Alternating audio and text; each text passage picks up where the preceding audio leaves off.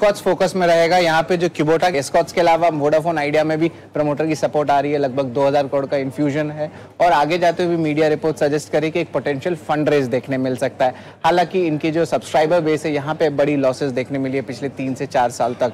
NBCC भी तीसरा stock है, जहाँ पे लगभग आठ करोड़ के जो है इनके ऑर्डर लाइन जो है मिलने वाले हैं। और ओवरऑल देखा जाए तो इनकी जो एफ़ की गाइडेंस है ऑर्डर को लेकर इसमें भी स्ट्रेंथ आया है। तो ये तीन पर काफ़ी लंबे समय पहले हमने बिकवाली की राय दी थी। हमारा लक्ष्य आ चुका था, वो अभी राय नहीं है, इसलिए विशेष टिप्पणी नहीं करूँगा।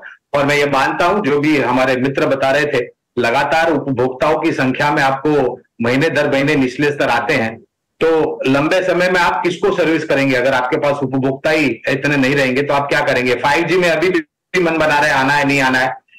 डेट काफ़ी है बैलेंस शीट पर तो मैं टिप्पणी नहीं करूँगा, वोडाफोन पर एनबीसीसी और एस्कोर्ट्स कुबटा तो एनबीसीसी पर हमें लग रहा है नतीजों के आधार पर अभी भी कुछ कमी है हमारी बिकवाली की राय है एनबीसीसी पर। उसी तर्क के आधार पर एस्कॉट्स कुबोटा हमारा जो लक्ष्य था वो आ चुका है इसलिए हमने मुनाफा वसूली या फिर बेचने की राय दी है। पे भी एनबीसीसी पे भी सिमिलर व्यू है। आ, हो सकता है कि यहाँ से तीन या चार रुपए और बढ़े जो करीबन आठ दस परसेंट हो सकता है लेकिन वैल्यूएशन वहाँ पे एकदम कॉस्टली हो जाएँगे। वोडाफोन पे तो मैं तो क्लियर हूँ। आपको बेच के पैसा निकाल के निकल जाना चाहिए। देखिए सवा लाख करोड़ डेट जैसे सब्सक्राइबर बेस तो एकदम धीरे धीरे कम ही होते जा रहा है। एज डिस्क्लोजर वोडाफोन कनेक्शन है मेरा मेन मोबाइल नंबर यही एक डिस्क्लोजर रहेगा शेयर नहीं है।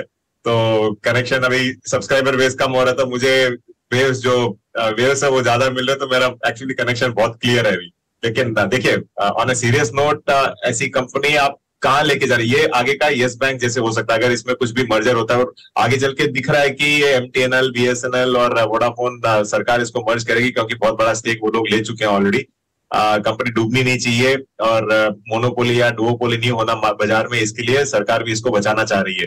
तो अगर ये मर्जर भी होता है तो येस बैंक के जैसे आप देखोगे ये शेयर अटक जाएगा एक जगह पे। तो मुझे तो कुछ उम्मीद नहीं है अपॉर्चुनिटी लॉस होगा तो इसके लिए आप निकल जाइए इससे।